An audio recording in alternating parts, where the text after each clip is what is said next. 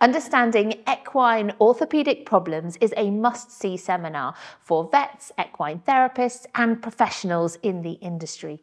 Equine orthopaedic surgery specialist Dr. Jessica Kidd shares her extensive knowledge about different problems within the horse's body, including caudal neck pain, neuropathic pain, wobbler's syndrome, kissing spine, supraspinous ligament insertion desmopathy, facet joint arthritis, sacroiliac problems, hock problems, stifle problems, so much more.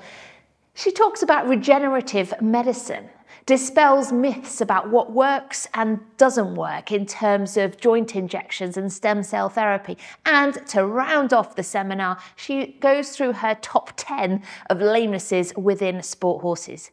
This is an invaluable and comprehensive seminar not to be missed.